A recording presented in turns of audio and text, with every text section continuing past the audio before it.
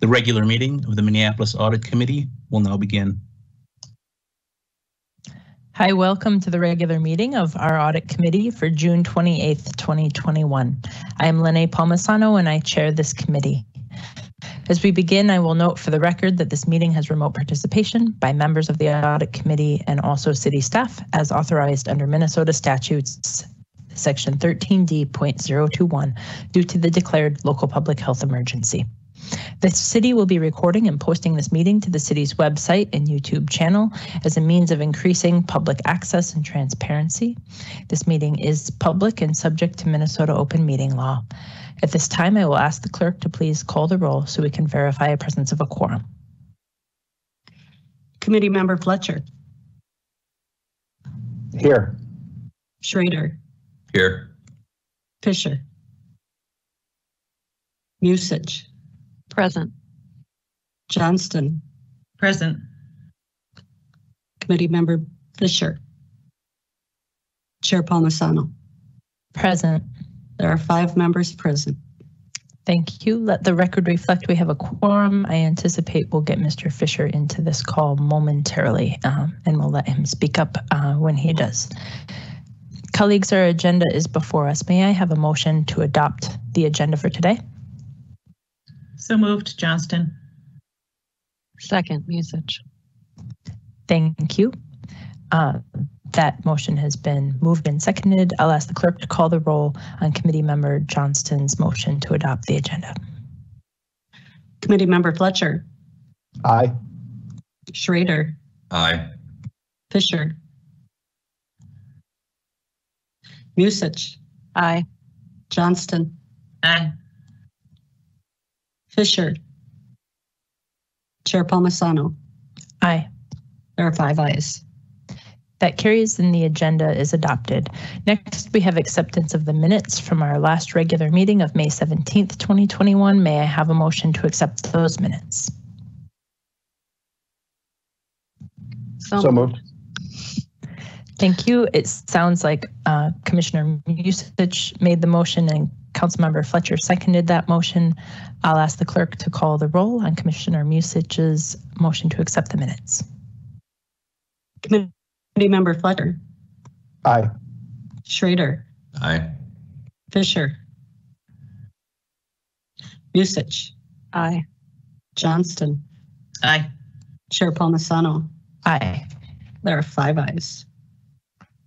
Thank you. That carries and the minutes are accepted.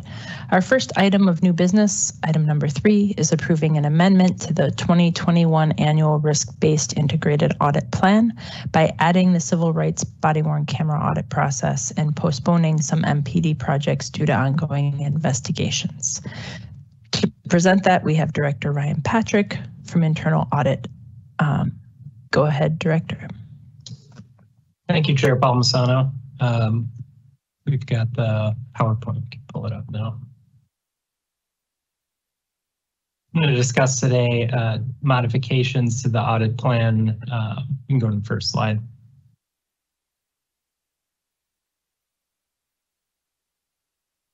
Uh, So three, uh, three points to make. Uh, We created our MPD projects back due to a rapid risk assessment uh, last summer.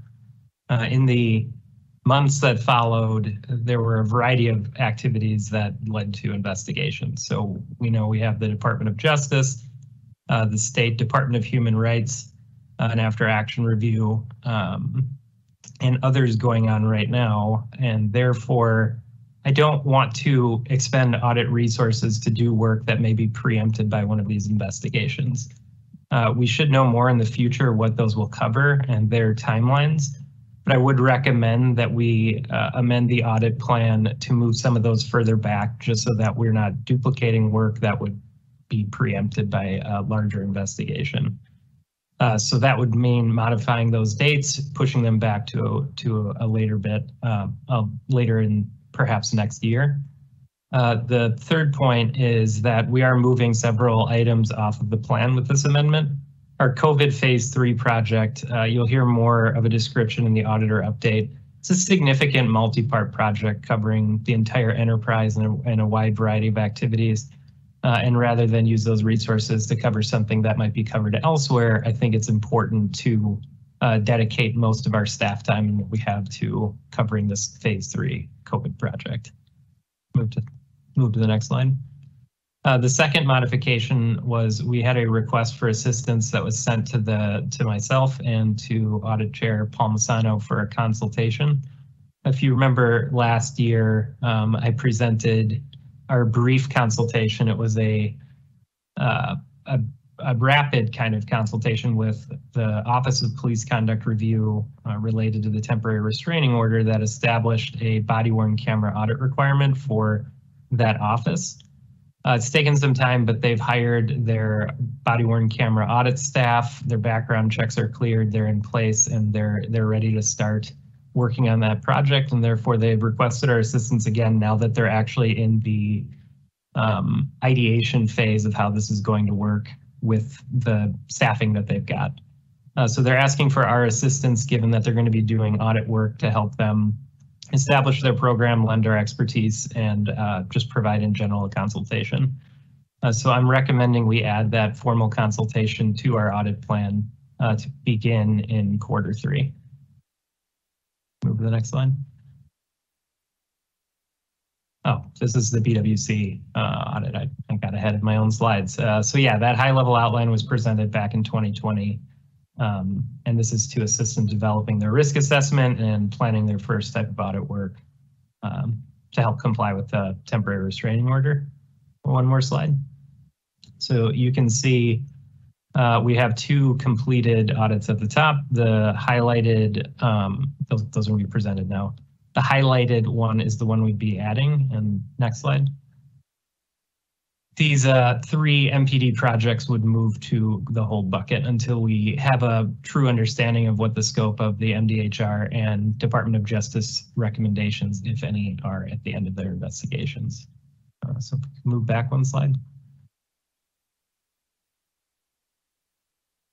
Um, so we have currently three projects in place uh, that we're working on right now, and we plan to begin others. You'll you'll hear about that more in detail during our auditor update. I'm happy to answer any questions related to this. Thank you. Um, I have, as Director Patrick noted, been a part of some of these staff level conversations about these changes and I'm comfortable with it, but I'm curious um, what questions my colleagues might have. Councilmember Fletcher.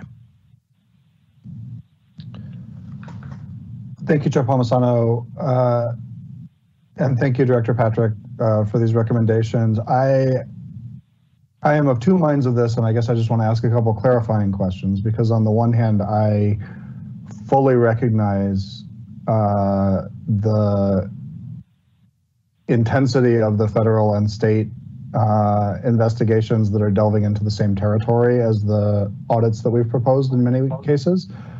Um, and I'm aware, I mean, we just dedicated additional resources uh, or in the process of uh, dedicating additional resources to uh, that effort, recognizing that it's already overwhelming uh, staff in the city attorney's office. So there's a good reason to uh, sequence these things. It is also important to me that the council not be abdicating its responsibility for oversight, uh, you know, in this regard. And so I guess the question of whether this work feels duplicative uh, depends a little on how much we're able to uh, be in conversation with those other investigations or how much we're able to access their work product or or uh, you know their their findings to our benefit. Are, are you in do you have an ability to coordinate with them or to share um, information and insights with them, or is is this uh, a sort of an entirely separate track, and and we're just stepping back to make room for uh, these outside investigations?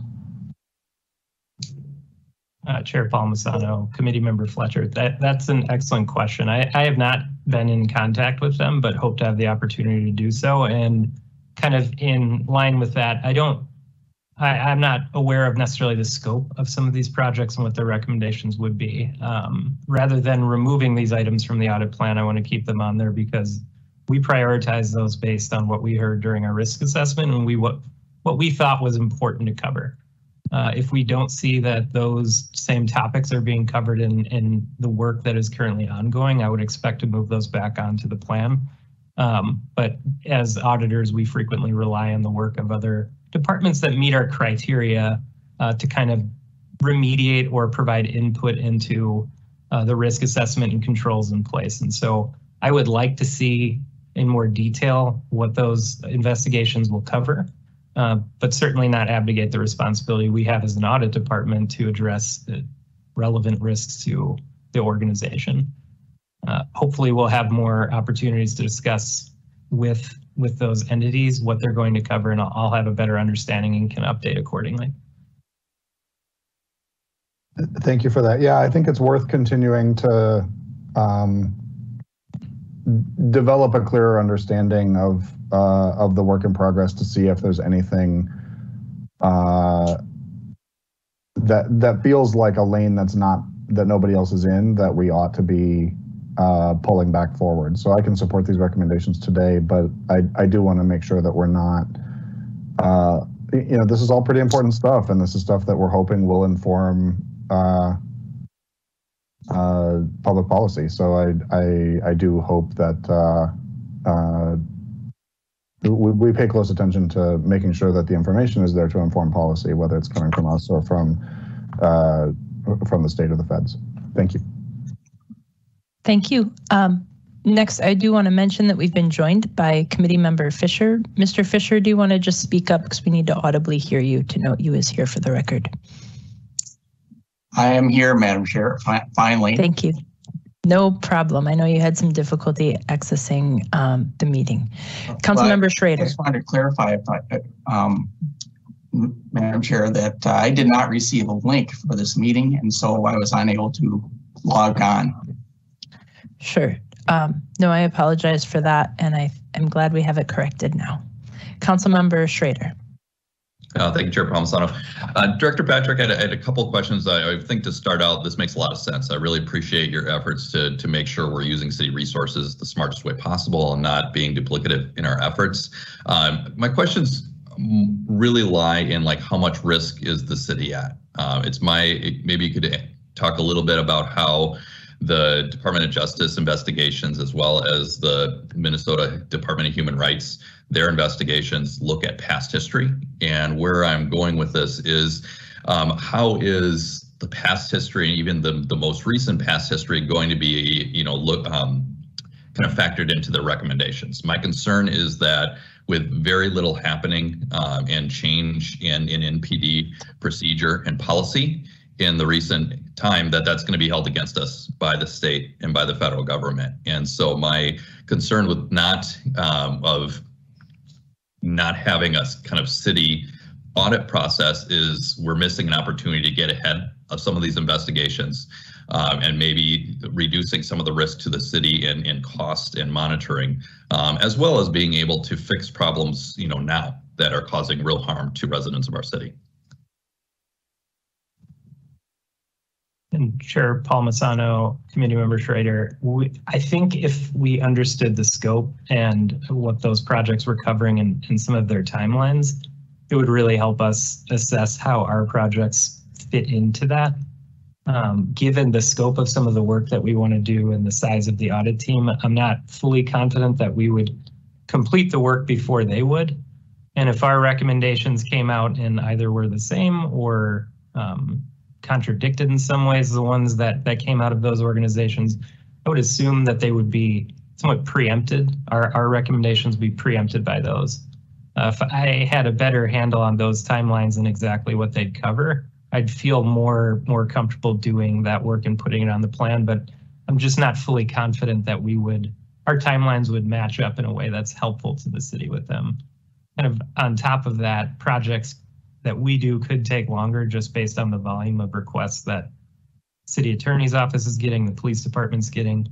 Um, they're going to produce a lot of data for those, and that data may also be beneficial if we're also getting the information on kind of a later date might be beneficial for us to continue to do our ongoing risk assessment that we're doing constantly like we are today and updating the audit plan. So hopefully as a as kind of a clearer picture shapes up of what's going on there, we can balance our risk assessment with what those those items will cover. Thank you, Director. That's really helpful.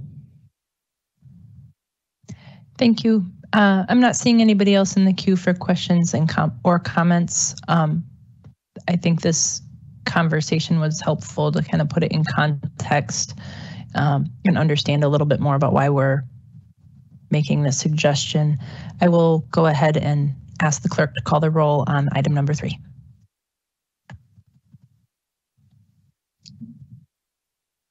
Committee Member Fletcher, Aye. Schroeder, Aye. Fisher, Aye. Musich, Aye. Johnston, Aye. Chair Palmisano. Aye. There are six ayes. Thank you. That carries and that motion is approved. Colleagues, our second item of new business, item number four, is receiving and filing and publishing the MPD Field Training Officer Program Special Report. For this presentation, we'll start off with Director Patrick. Welcome, Mr. Patrick. Thank you again, Chair Palmisano. Uh, today I'll be presenting the results of our Field Training Officer Program special project. Uh, we have several guests in the audience from the MPD, and one of them is our, our primary point of contact on this project. Uh, someone you all likely recall from the sexual assault kits project that we did back at the beginning of 2020, which feels so long ago, but was just at the beginning of last year. Uh, and that is Commander Darcy Horn. She's the new uh, commander of the training unit. Uh, I believe she's on the call, and I'd just like to extend to her just a brief opportunity to uh, address the committee before I, I delve into the topics. Good morning. Welcome, Commander Horn. Thank you, Chair Palmisano, and thank you, Director. I just wanted to take a, a few moments and uh, thank the audit team for their work on this project. It is a very important project to MPD, and um, we appreciate the time and the effort that they took. Um, the uh, interviews with the FTOs we found very valuable, and uh, the observations that the team made mirror very closely with ours. So uh, we look forward to working with you on this project. Terrific.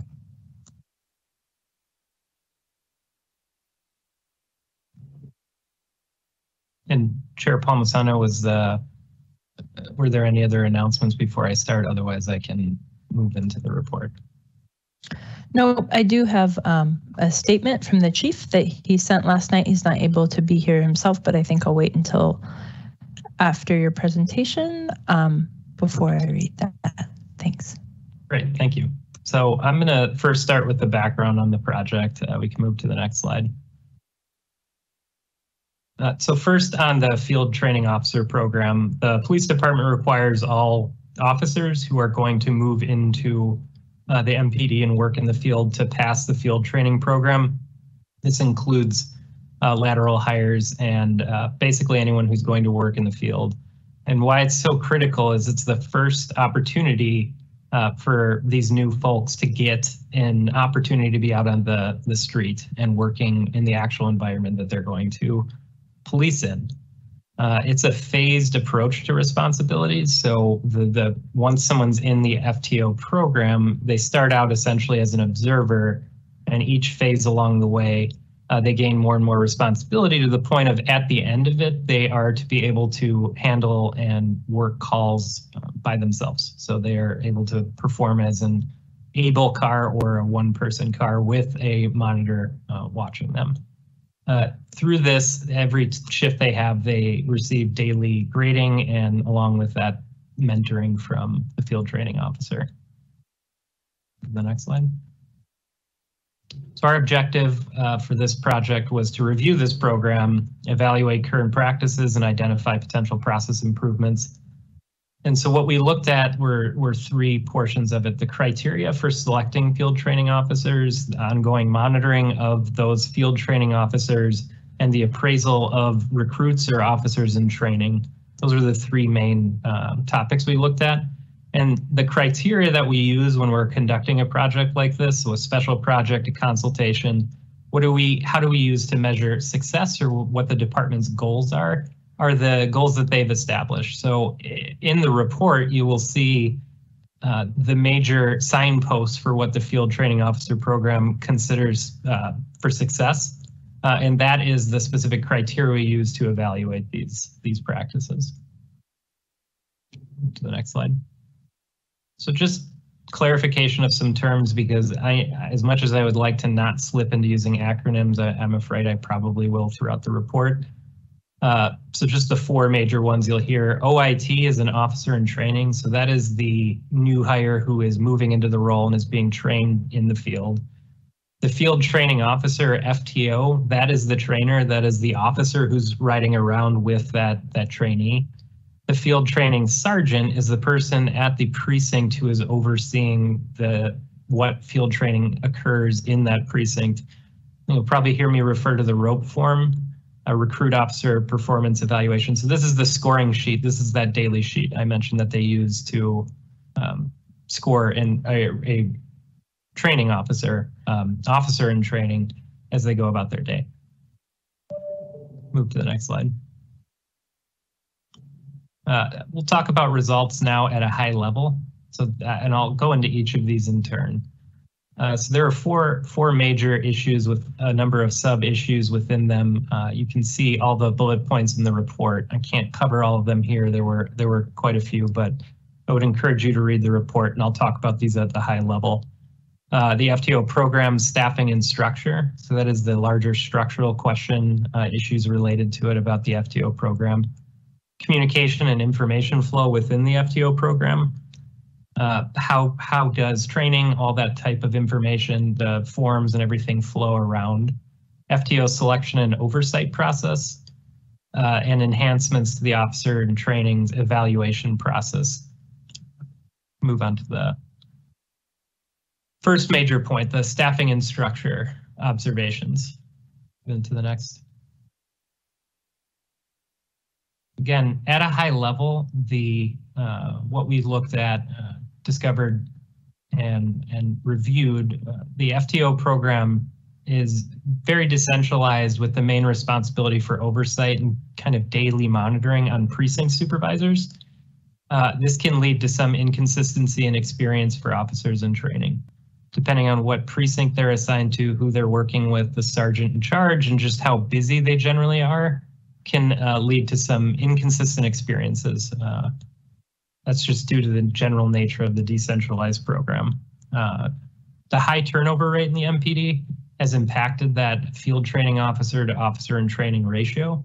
Uh, so generally with more field training officers, there are more, more people who can volunteer to work with them, fewer officers, obviously that ratio uh, is impacted uh, and perhaps has consequences. And then finally, the training for the field training officers is inconsistent. So some field training officers have volunteered and gotten into the program more quickly than others and have not been trained. Some people have been there longer, had training that maybe was uh, put in place a couple years ago, but not necessarily current, and not every officer had the training that that um, met the unit's own manual standards the next slide. So I'll talk about the management response to these issues. These are these are kind of the action plan moving forward. And again, this is a digest and a summary of what the unit intends to do. And just like other audit projects, uh, consultations, we provide the issues. Management comes up with a, a, plan of action on how to address those issues, assuming they accept them. And then uh, they uh, attempt to implement that plan moving forward. So this is perspective and actions that you'll see deadlines throughout the coming year. Uh, so the first is a broader look at alternative uh, field training program structures. So the field training, uh, the training unit is going to examine the various models around the country, whether those are centralized, decentralized, or, or some combination of the two, ranking structures, um, duration of the actual field training program, and look at other similarly situated departments to benchmark MPD's program. Uh, you'll see in the report a discussion of how the MPD's FTO program was set up in the first place. Um, but this is a this is a broader look to see if some of the issues can't be mitigated by implementing uh, recommendations or or using this benchmarking data to to improve our program. And the next slide, these are other components responding to the same same thing, but we'll have a management um, expected completion date at the end of this this section.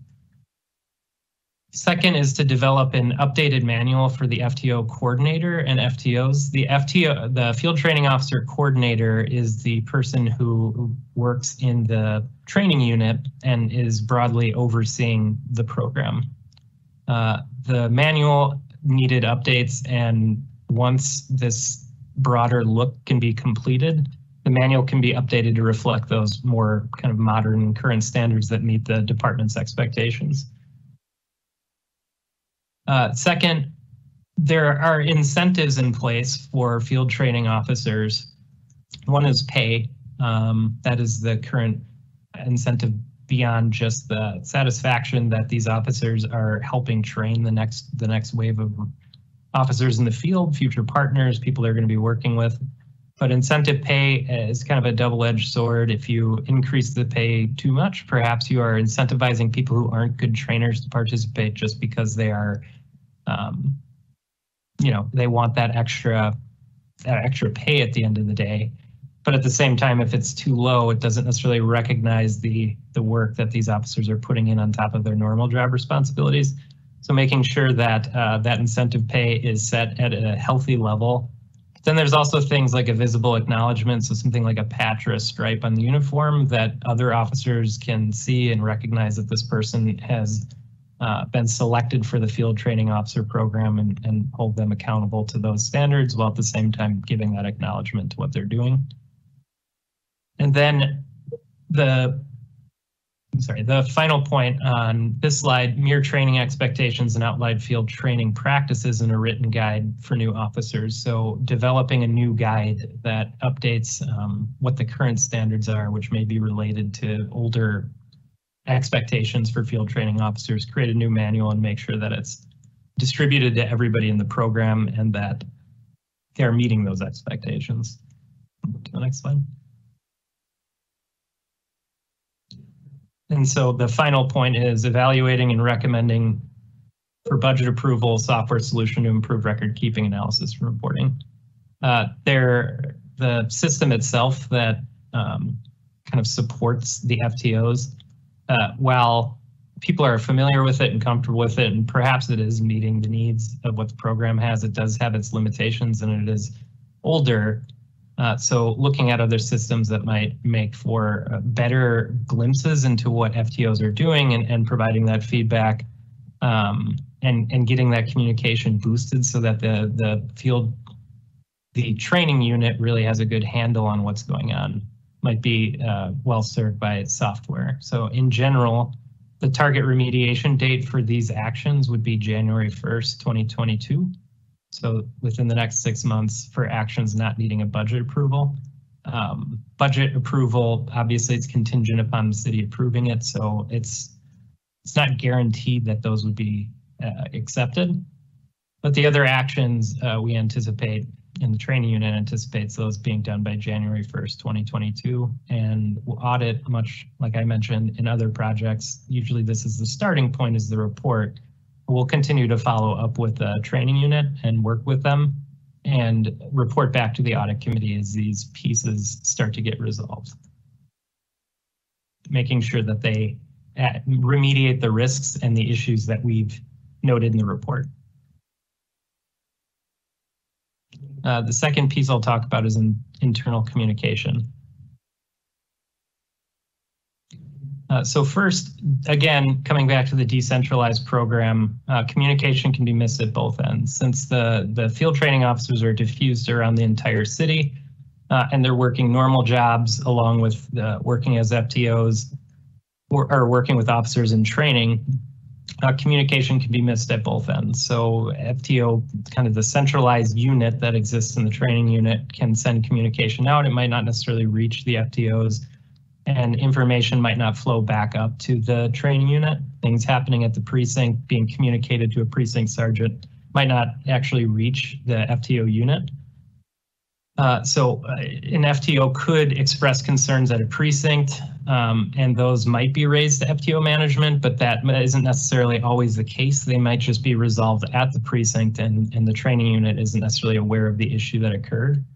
And then coming from the opposite directions, management might make decisions, the training unit might make decisions, and that information might not be communicated to FTOs. So they don't they don't have the insight into how the training unit is operating, the decisions they're making, and therefore um, don't necessarily know that their feedback is being taken into consideration and um, can't adjust their performance to meet those management decisions. The next slide. So the management action plan for these these issues uh, first is obviously developing communication channels, and one of the easiest ways to accomplish that would be creating a schedule for regular meetings. Uh, meeting at least monthly or um, on a regular basis with both the field training officers and the officers in training uh, in one-on-one or, or small group settings so that that information flow is always there and being communicated. There's no significant lag between when things are happening in the training unit and when it's actually hitting the street. Uh, again, updating all the documentation, outlining expectations. There is a manual that can always be referenced that contains all of those expectations, and that would be uh, provided to the field training officers, and they would be expected to know that. Um, second or third is communication on changes to the training plan. So the ROPE forms, which I'll talk about more in section four, uh, have a set of, of grading and um, metrics that these uh, field training officers use to evaluate trainees uh, and making sure that the any changes or, or, issues that are brought up in the the um, training unit make it to the ROPE form so that their officers are actually being evaluated based on the expectations of the training unit the next slide. Uh, next is scheduling quarterly training and development meetings for all field training officers. So like I mentioned, uh, training uh, has been missed. You know, some officers have varying levels of training based on where they are in the field training officer program. So making sure that there are meetings and check-ins to make sure that everyone's receiving appropriate training and getting kind of current and always up to date training information at least on a quarterly basis, uh, is important to address that. And then the final bullet here, um, this has already been remediated, but uh, it's worth noting FTO management. So the, the training unit created a means for communicating priority feedback to the FTO coordinator, so to the training unit. Um, they, they've now developed a tool so that uh, information from the FTO OIT can can go immediately to the training unit. It can be prioritized based on immediate need, moderate need, uh, lower risk need. And that way, uh, everybody's got a tool beyond just simply sending an email or talking to the precinct supervisor that goes directly to FTO management, make sure that they're constantly in the loop and, and always up to date. So the target remediation date for these action items is October 1st, 2021. I think this is the first date um, in our management action plan. Uh, so that's coming up um, before the end of the year. To the next slide. So next, uh, I'll talk about the selection and oversight process. So this is selection of FTOs themselves. So uh, first, recognizing that current needs, needing FTOs in the training unit, uh, needing FTOs to volunteer makes it somewhat difficult to standardize the process. They're they're trying to get volunteers and trying to get people into the program quickly. So creating a standard process at the current moment uh, is is challenging for them. But we did note it as an issue because a standardized process creates a standard set of expectations and enhanced oversight over who is actually joining the program. Uh, and how this is played out is FTOs have been formally selected, so follow the, the application or announcement that goes out the normal channels, but also informally selected. Uh, so they're being tasked at the precinct of either filling in or volunteering for the program. Um, and they don't necessarily go through the same um, the same process as someone who responded to the notice, and therefore they receive different levels of training. Uh, you could have someone volunteering to fill in for a shift because uh, the normal field training officer is out sick, so they're riding around with the officer in training. They might not have had really any training in being a field training officer. Um, they may not necessarily meet the same criteria as another officer, but they're they're filling in because there's literally nobody else who can take the officer out uh, for the the shift. And then finally, uh, we did not find a performance review process for field training officers. Uh, to be clear, there is some review of field training officer performance occurring via body cameras and some of that, but it's uh, somewhat more uh, piecemeal and less um, less of a formal process. So we would expect to see a more standardized and regularly used performance review process for field training officers to make sure that they are meeting the department standards as they do this critical work. Uh, so the management action plan to respond to these items, first and foremost, they developed a process to alert the FTO coordinator when a temporary substitution is made. So again, that that addresses the issue of people in the precinct. Uh, kind of these first two bullet points can be taken together. Um, working with precinct commands to identify the reserve officers. So like I mentioned, that officer is out sick. Who can fill in for that person? Maybe it's someone who's gone through all the training, uh, is not currently functioning as a field training officer, but can step up for that evening or, or those couple of days because they're they're in the reserve list and, and have been screened for the FTO program. That way, the if the FTO unit or field training officer management is notified that they need a temporary substitution, they can draw from that well. Because uh, that that type of issue will continue to crop up just based on the nature that people aren't always available to work. Uh, and then the third point, third bullet point um, arising from our recommendations was an enhanced check of disciplinary history beyond um, necessarily what we were seeing right now uh, but a check of the disciplinary history both by FTO management and then um, a review by the Deputy Chief of Professional Standards of everyone who's volunteering for the program so that um, that each of them have been screened by by two layers of management and uh, each applicant has the stamp of approval by the Deputy Chief of Professional Standards, who is also responsible for uh, reviewing misconduct cases and is generally in the loop on those types of issues. The next point. Uh, the next point that we noted was um, potential burnout or challenges that FTOs might face. If you are working as a field training officer, you are supervising someone who's untrained and um, perhaps enthusiastic, but they don't necessarily have the same skill set as a partner that they would be working with that they might have been working with for a long period of time. And it's a it's a lot of work. It places a lot of uh, extra responsibilities on the field training officers themselves. Uh, so you would expect them to not be working as a field training officer back to back to back, because uh, that can lead to burnout. Uh, some people find it easier than others, but uh, clearly, you know, six, eight months of being an FTO can be challenging. Uh, based on current staffing, some of this is challenging in the number of volunteers in the program, but uh, FTO management should identify strategies to make sure that we're not burning out those officers, leading to inconsistent training and, and just a poor experience for the officers in training. And then obviously creating a performance review process for field training officers with relevant metrics and uh, you know a higher level of standardized review so that uh, we can ensure that each of these uh, field training officers are continually evaluated, not just necessarily when they first join the program. And then finally is, is more of a technical point, but just maintaining the FTO roster so that at a moment's notice, there's always an accurate count of who is actually a part of the program and who's able to fill in at a moment's notice. Uh, so again, target remediation date for this is similar to the, the first section. That would be January 1st, 2022. So a lot coming up for that date. Moving to the next slide.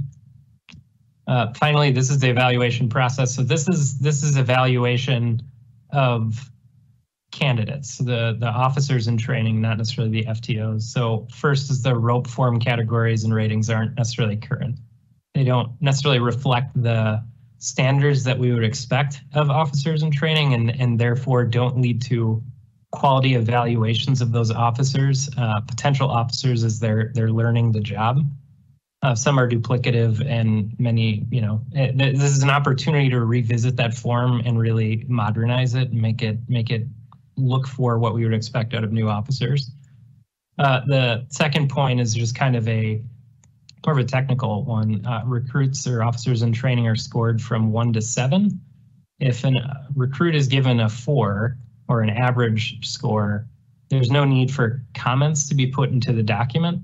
And therefore, uh, it's less work. So if people are busy, if if things are going on, or if someone doesn't feel like expending energy writing comments, it's easy to score average. Now, I don't necessarily have evidence that that's occurring, but it's also an opportunity if someone uh, wants to put in comments for an average day, they they can't do so on the current form. So there's there's some issues with uh, locking people out of issuing comments for the entirety of the one to seven spectrum.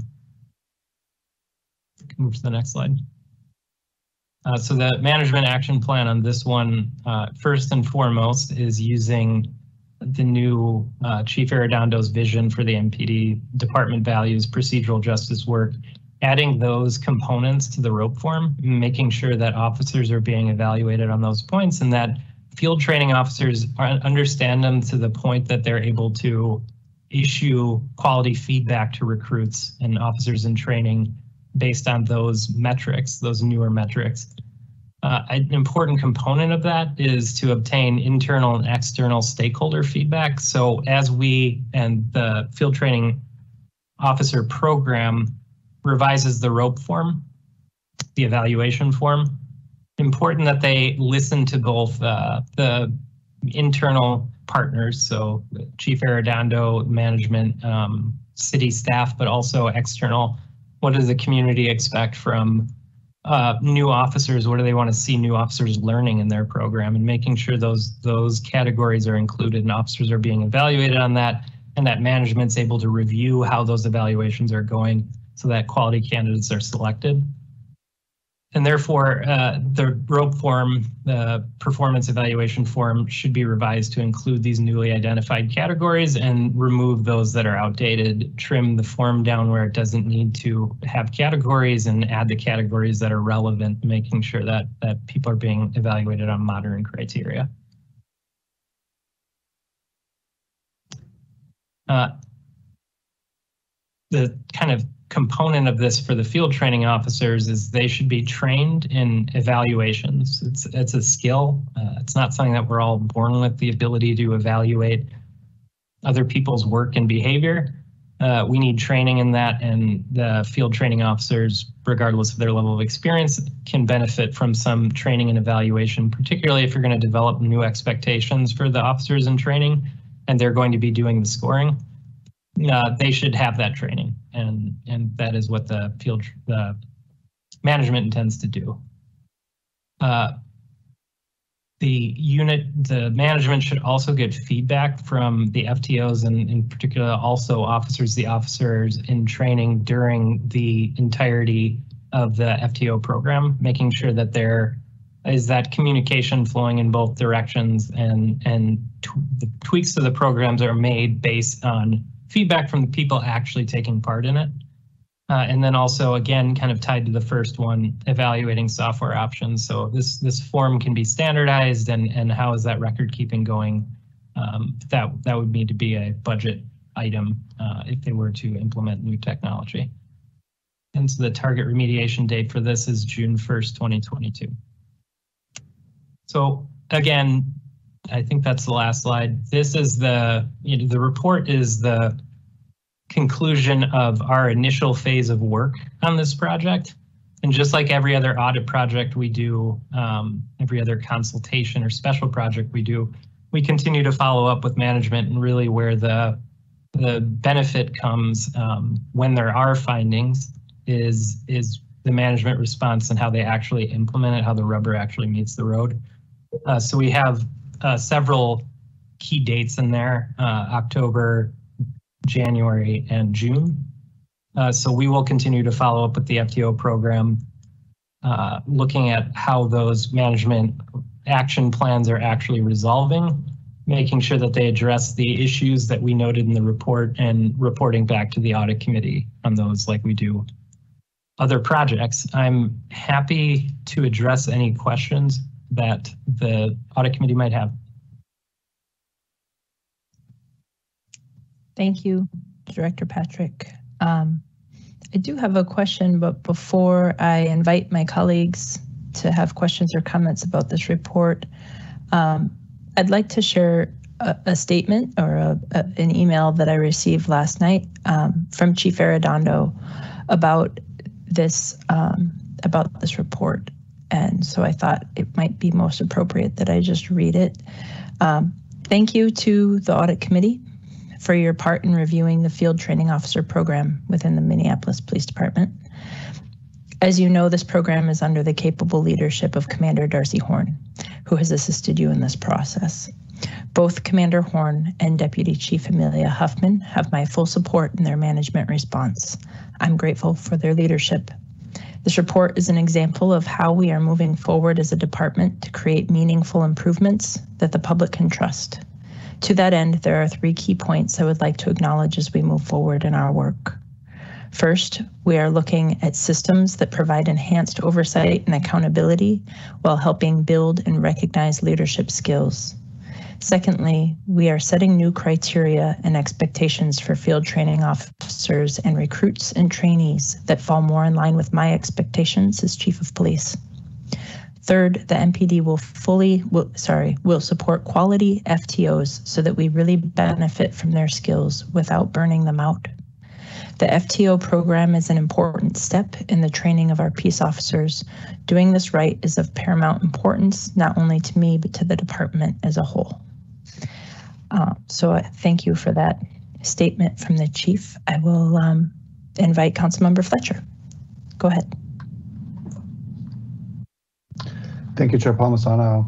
Uh, and thank you, Director Patrick, for this report. I think it's uh, really valuable to have this, and I agree with the chief's words that this is a critical uh, issue. I think that this is, uh, you know, literally a place where our theory of, you know, the, the, the chief's theory of change, which has been about recruiting and culture change, uh, either gets undermined or gets reinforced. Uh, and, you know, I think we've seen uh, and heard anecdotally some some ways that it's uh, that this is a place that the process is not working. And I think it's it is helpful for the public to know uh, that there are currently uh, no uh, performance review process for FTOs, that there's currently not an established criteria for the types of complaints and discipline decisions um, that might disqualify from being an FTO. I think like the, you know, these are changes that absolutely need to happen. And I think if we're serious about uh, moving away from uh, what I think the Star Tribune described uh, this week as a as a warrior culture, uh, you know, into something new. I think it's very important that we um, that we look very seriously at this and that we understand that this is a place that uh, has not been working uh, the way that it ought to be for uh, for a while. Uh, and so, I, you know, I think that that feels very important. One of the things that I'm wondering about is as we try to standardize this, uh, as we as we think about standardizing this, one of the challenges uh, is that there's uh, uh, I would I would say that the the function of patrol is fairly non-standard. There's a massive amount of uh, decision making and discretion by individual officers, and I think the experience of patrol varies quite a lot, squad car to squad car, uh, in in terms of how the job is approached and what it looks like. Just you know, from from ride-alongs and observation, it it, it feels like uh, many people with the same job title are working jobs that feel quite different. Uh, depending on how they approach it. And so I guess I'm wondering, how do you standardize a training for something with that much discretion? I, I could imagine that that many uh, people are going to have wildly different experiences. Uh, and so I guess I'm I, I'm wondering, Director Patrick, from your study of this, how much of this feels like it is it is standardizable um, given the current level of discretion, or how much standardization might be needed on the uh, on the patrol end in order to be able to train consistently uh, in best practices for patrol. Uh, Chair Palmisano, Committee Member Fletcher, that's an astute point and something that we saw certainly uh, in our interviews and our, our work in this. If you know an officer in training is assigned to work in the North Second Precinct or is assigned to work downtown or in Third Precinct, obviously their experience is going to be quite different.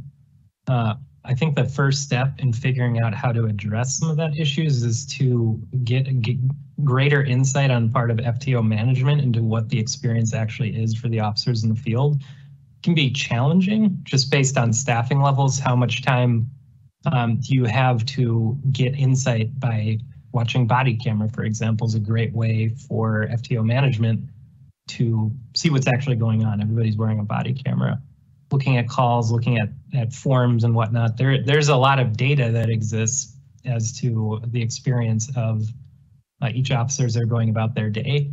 Uh, can't necessarily standardize that, but making sure that uh, officers in training are being offered the breadth and not just kind of one take on what it is to be a police officer and then being moved when they actually start work into a completely different environment and, and not being equipped to do that. Um, so while every officer in training is not necessarily going to have the same daily experience, uh, the breadth of experience that they get might might help balance out some of that. Uh, second, I it's hard to estimate at this point. I think what needs to occur uh, is the management action plan and that that broader review of FTO structures, the decentralized structure, uh, certainly places a lot of authority in the precincts and in the officer, the FTOs themselves into what experience those those officers in training get. And uh, it's things like looking more broadly at what types of programs might uh, be available to MPD. How do you evaluate office, field training officers to make sure that they're, even if they can't respond to the same types of calls, they're providing consistent feedback to recruits, officers in training um, that is in line with those standards. It's those types of things that even though you might not necessarily be able to have similar days, you can at least be offering a similar experience across the entirety of the, the program. These these types of oversight enhancements um, and at least the study period that we've that FTO management has proposed uh, should give us greater insight into that. And I'm I'm looking forward to seeing what that produces and reporting back to the audit committee. Thank you. I appreciate that. I, I, I think that really drives home how important it is to create trust in this process. Uh, you know, I think people really do have a suspicion that this is where training gets undermined, that this is where whatever de-escalation uh, training and anti-bias training uh, we can structure into a curriculum that this is where uh, uh, and and OIT gets uh, sat down to say, well, this is how it really works. And you know, I, I think getting to a place where we believe that um, a positive culture is being transmitted would be a significant step forward for the department. It's it's it's not someplace that we are now. I think that this report documents some real process gaps and, and shortcomings in the current system. And uh, I, appreciate having this report and, and hope that uh, uh, hope that we look at this. It sounds like there's some positive uh, intentions in that direction, and we'll be watching it closely. Thank you. Thank you, Councilmember Schroeder, and then I put myself in queue for a question. Uh, thank you, Chair Palmisano.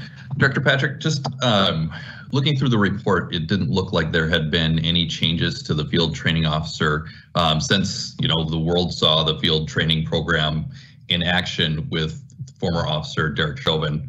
uh, murdering George Floyd. Like that was a, a field training officer doing that. Um, I was, I'm kind of surprised nothing, and just correct me if I'm wrong, that nothing has been implemented since that time until the this audit has come out. There, there have been some changes in structure. Again, Chair Palmisano, Committee Member Schroeder, there have been some changes to the program, changes to staffing, reviews of the rosters, um, and changes to some of how it's it's occurring. Uh, I think documenting those, but in the broader context of the management action plan, um, that's where you're going to see the real bulk of the change. But the what is in the report was the uh, information that we saw that existed at the time we did the research, which started at the end of last year and continued through March of this year.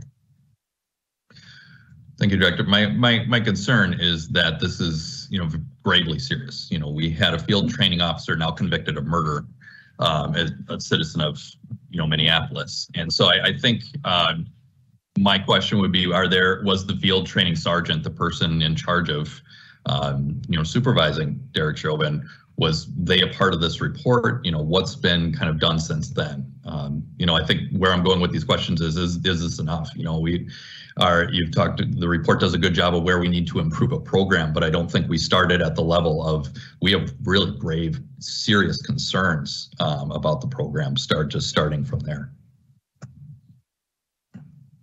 Yes and committee member Schroeder i think the that's why the first recommendation you see in the report and the first management response that we accept we um, noted is a wholesale look at the structure of the FTO program uh, we expect MPD and they've committed to doing a, a real look into it. Um, again, that decentralized structure, it, it works in a lot of ways to give people that breadth of experience. And then there are those those pitfalls where um, with that decentralized structure, you have less oversight and more decision making happening at the precinct, less coming from the training unit itself.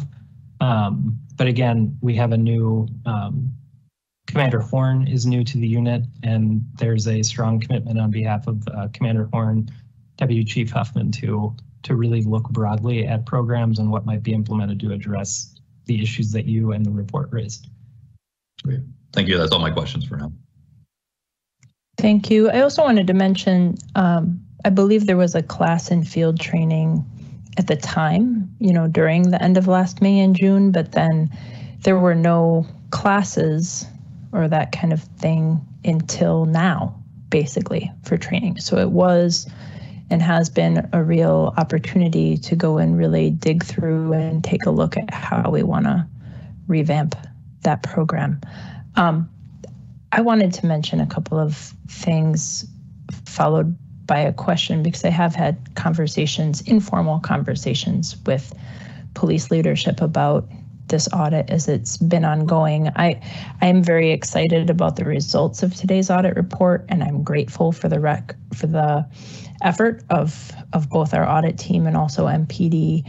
I think that the recommendations from in here are the kinds of real tangible policy changes that um, that we can do together. Some of these recommendations take budget dollars allocated, and some of these recommendations are about wellness for those that are tasked with preparing our first responders. I am curious, Director Patrick, how were alternative field training officer models selected for analysis here? Was it about size of department or um, organization of, of how um, first responders work at the precinct level, or, or can you tell us a little bit more about that part of the audit? Uh, Chair Palmisano, just clarification question. Are you talking about how we used alternative models to benchmark MPD?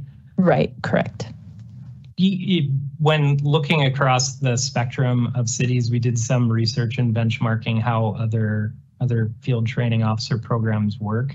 There's a lot of MPD's model is not unique in the the current one that exists. It's a pretty pretty common setup. I believe started in San Jose and has been in existence for a while. So um, there are other types of programs. Uh, we would provide that information back to MPD management, but ultimately they'll have to use that information to benchmark their own program.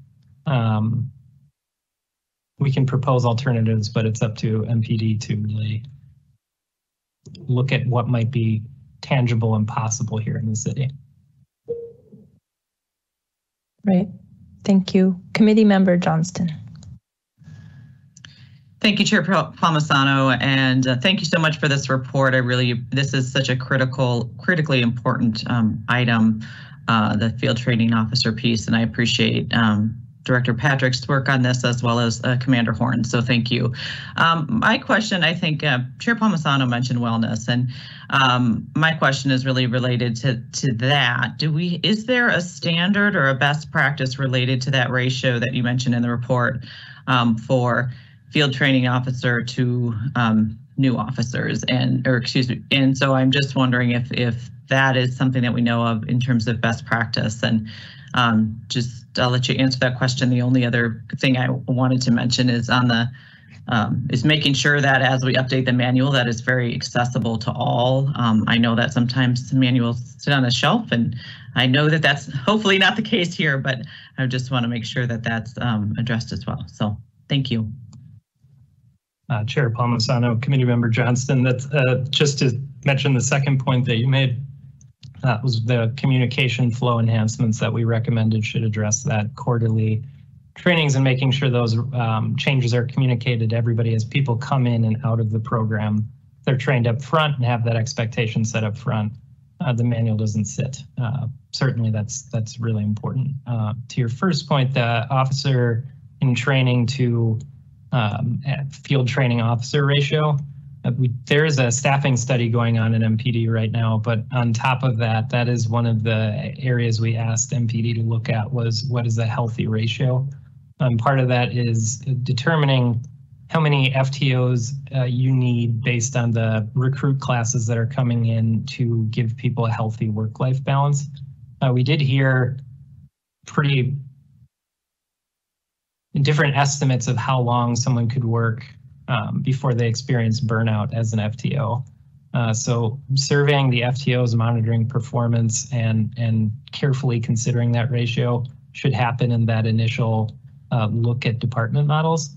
Um, but I, I, we don't have a exact number of the ratio currently, but you could think each if each phase is a month, um, and you have 30 odd people in a, in a training class, that's roughly 30 field training officers you'd need to have throughout the throughout the program, but one for each phase, since it's a four to five month process. So the ideally you'd have a large number on the bench and you could kind of select based on both skill and expertise as well as uh, how what when's the last time they trained somebody um, but you need to have the volunteers into the program with proper incentives to get to those numbers before you have that. So I, I would expect more discussion on both burnout and um, that that ratio to happen in the the report back in January.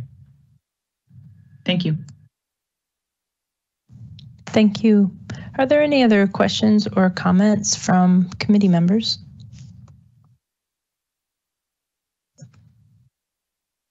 Seeing none, I'll move to receive and file the report and direct staff to publish this report. Um, could I have a second on that? Second, second Chair Palmisano. Thank you. I'll say Mr. Fisher seconded that. Um, clerk, could you please call the roll? Committee Member Fletcher. Aye. Schroeder. Aye. Fisher. Aye. Mucich. Aye. Johnston. Aye. Chair Palmisano. Aye. There are six ayes. That carries and that motion is approved. Thank you for everybody's work. Next, we have the report of our internal auditor. Um, this will be receiving and filing an update of our internal audit department's work in progress. And I'll kick it off by turning it back to Director Patrick. Hello again, everyone. So now we'll go through our auditor update. I just move into the next slide. So this is what I'm going to talk about today, our in progress work. I'm going to note uh, we don't have any prior audit issue follow-up or continuous monitoring updates. But we did have a meeting not that long ago where we had a significant number of updates on those. We'll, we'll continue those in the future, but our, our bulk of our work was in the past month on our field work, finishing the FTO um, special project and, and getting the next projects up and off the ground. So we'll continue with those updates at the next meeting, but there aren't any today. And that we can go right in two more. Uh, so we are in the planning and, and moving into the actually the field work phase right now on our personal and work issued mobile device management audit. Uh, so primarily what we're looking at, uh, this came out of our risk assessment uh, based on the fact that more people are working remotely and therefore may need to use um, their their mobile phones to to work, both personal and city issued might in, increase the risk if there are weak controls over the city's use of mobile devices. Uh, so we are looking at mobile devices issued by the city, uh, generally at the use of mobile devices by city employees to conduct city business. Uh, although that is a much more challenging thing to address and any related costs and contracts. The next slide. Uh, so this is, I'm not going to read all the items in the scope, uh, but I just wanted you to have it in front of you. But really, this is a look at the overall governance structures related to mobile devices, how, how we obtain them and how they're actually monitored when they're being used. Move to the next slide. Uh, we are nearing the end of field work uh, and moving into reporting on another piece that that kind of touches on some of the things that we discussed both in the FTO project, more more in our, our risk assessment that we conducted last year. And I think this this project actually tackles some of the issues that uh, were raised in the modifications to the audit plan. I will look forward to presenting this at a future date, but we're we're moving into reporting and beginning to work with management on action plans related to this project. And that is uh, looking at when there are settlements, court awards, small claims, uh, things of those nature, uh, how are departments responding to those to address the issues that were raised in the lawsuit? Obviously, we don't want same or similar types of lawsuits popping up over and over and again. So making sure the city has a, a looking at the way the city addresses lawsuits to to plug those gaps where they exist. Uh, so we'll be soon moving into our reporting phase on this project. And I'm going to turn this part over to Huguette Essolat on our COVID phase three project. She is the project lead and our primary point, point person on COVID related auditing. Uh, so I'm going to turn this over to her for a brief explanation of what we're doing working on that project. Welcome, Ms. Essolat. Thank you. Uh, thanks, Ryan. Uh, Madam Chair, committee members, uh, like Ryan mentioned earlier in his presentation, uh, the COVID-19 phase three project is going to be bigger than we initially anticipated. So there will be many aspects to this project and we will, we're planning to complete it in four parts. Um, in part one, we'll be assisting the health department with their after action report. So they've recently reached out to us to request assistance with work related to their response to COVID-19. And essentially, uh, there are some aspects of the report that they would like an independent party to work on. Uh, so audit will help with things like conducting uh, surveys and interviews to gather information and then we'll summarize the responses by theme and determine what went well, what could be improved, and come up with a plan for them to um, to implement. So this will be a great opportunity for audit to collaborate with the health department uh, in such an important project. And um, we're waiting to receive some initial information from them to put this uh, to put together a consultation agreement. So uh, once we hear from them, we'll have a, a, formal consultation agreement, and we should get started on this part of the project. And for part two, three, and four, uh, I'm just going to briefly talk about what we intend to do but circumstances could change. So I will not go into too much detail on those for now. We'll just be providing updates at audit committee meetings as we make progress. So for part two, we'll, uh, we'll just entail a review of city and department business continuity and disaster recovery plans, uh, essentially making sure that each department has developed one and that it has all the necessary components of a business continuity and disaster recovery plan. And uh, part three, uh, I think, uh, will involve some work that was done in the city coordinator's office. At the last audit committee, we briefly went through this uh, because there was some ongoing work going there and uh, parts of it what was going to be passed down to audit. So we're still waiting to hear more on that. And that will be part three of this project. And part four, I also discussed at the last meeting, is where we will look at the impact of the remote work on city activities and services. Uh, so far, we've obtained revenue data from finance, and we'll use that to determine departments we want to focus on uh, when we get to this part. Um, because we'll be looking at things like uh, the availability of city services, like we mentioned, and our focus will be on those bigger departments uh, with uh, that provide more services to our, the constituents. So that's what I wanted to share uh, regarding this project for now. Uh, are there any questions or comments? Are there any questions or comments from my colleagues?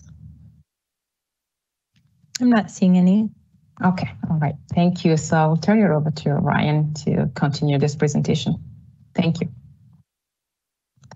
Uh, next are projects that are in the planning phase. Uh, this is in the early planning phase, but just wanted to follow up on, this was another bullet on our three top priorities uh, from the annual risk assessment is working with the Minneapolis Emergency Communication Center uh, consultation, uh, creating a systems architecture, uh, conducting risk assessments related to system security and assessing feasibility and costs associated with their current intergovernmental agreements. MECC works across not just the city, but across the county and dispatch. So looking at those intergovernmental agreements. Uh, we're currently seeking assistance for this, so it's in the RFP process, but we hope to have a vendor selected to work with us on this project in the in the very near future. Uh, so this work should be spinning up in the next month or two. Uh, and then the last piece is the biennial body worn camera automated license plate reader audit. This is the uh, state law required every two years, uh, this type of audit. Um, we have in the past done this work for MPD as we're external to them, uh, and we will do that work again this year, looking at the the programs to ensure state law compliance. I think this dovetails nicely with the project um, with the Civil Rights Department related to their body worn audit program, uh, kind of two sides of the same coin. State law compliance using body cameras as a tool to assess MPD's performance. The next slide.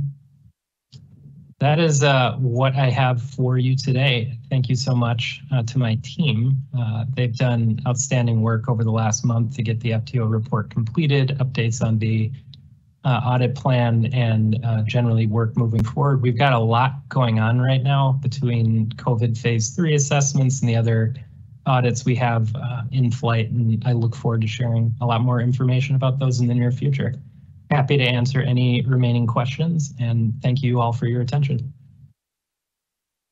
Thank you for this presentation. Do my colleagues have any questions? Seeing none, uh, without objection, I will direct the clerk to receive and file that report. Um, next, are there any announcements? Not seeing any. Seeing no further business before us, I will go ahead then and declare this meeting adjourned. Thank you everybody for your time this this morning, soon to be this afternoon. Thank you.